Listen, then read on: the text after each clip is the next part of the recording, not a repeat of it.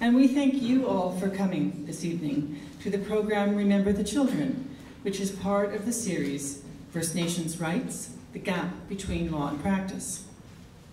We are honored to present this series with our co sponsors, Lawyers' Rights Watch Canada, the Hulquim. Do I practice that? Hul'qumi'num, Hul'qumi'num, is that right? Hul'qumi'num Treaty Group and Amnesty International. Inspiring people to learn is one of the public library's four strategic priorities. And through events like this one, we're proud to provide opportunities for individuals of all ages to pursue personal interests, explore the world, and current events, and discover the joy of learning. Before I introduce Leah George Wilson, former chief of the Tsleil-Waututh First Nation and current co-chair of the First Nations Summit, um, I would like to remind you to turn off your cell phones or anything that beeps or buzzes. Thank you. And I'll also mention a few upcoming programs at the Central Library. On May 7th, author Taras Grescoe discusses his newest book, Straphanger How Subways, Buses, and Trains Are Saving Our Cities from the Empire of the Automobile. On May 29th, Building the Eighth Fire will continue the dialogue started by the CBC television series Eighth Fire. It'll be a panel discussion, including diverse First Nations voices, reflecting on the relations between Indigenous and non-Indigenous people in Canada. If you're interested in these programs or in the many others offered at the Central Library, you'll find more information in our events brochure. This is the May events brochure, or online at vpl.ca. And now please join me in giving Ms. Wilson a warm welcome.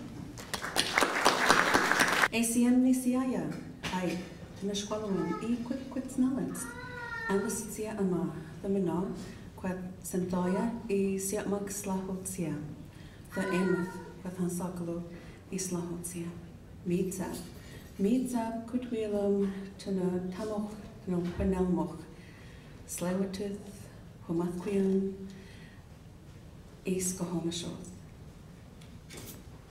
Thank you to all of you. Um, greetings to our honored guests and my dear ones. I have good feelings in my heart to see all of you this evening. In our Coast Salish First Nation way, I told you what my name is. My name is Sitsia Ama. I told you who my parents are. I told you who my grandparents are.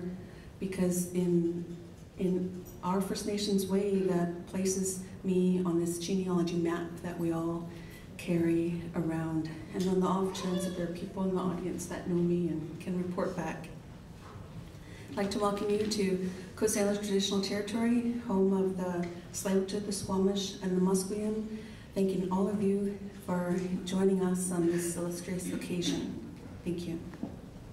Good evening, everybody. I will keep this short so we can give most of our content to our, uh, our guest speaker tonight. Uh, on behalf of uh, the sponsors of this event, Amnesty International, Lawyers' Rights Watch, Canada, the Vancouver Public Library, and the Hul'qumi'num Treaty Group. We are so happy that you're out here tonight. This is the fifth of our lecture series, and for each one, the numbers keep getting bigger and bigger, and so we're very excited uh, that you're here tonight. And I also have the pleasure of introducing tonight's guest speaker, uh, Ms. Cindy Blackstock. Cindy is the Executive Director for the First Nations Child and Family Caring Society of Canada, as well as an Assistant Professor at the University of Alberta.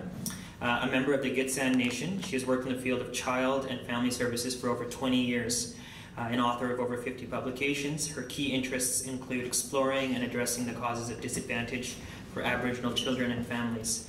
Um, Cindy has almost single-handedly focused public attention on such of the compelling examples of injustice against First Nations children, which include, but are not limited to, uh, the jurisdictional wrangling that denies adequate health care to youth, uh, the discriminatory underfunding for child protection services, and the denial of the fundamental human right of safe and adequate schooling uh, needed to achieve an education.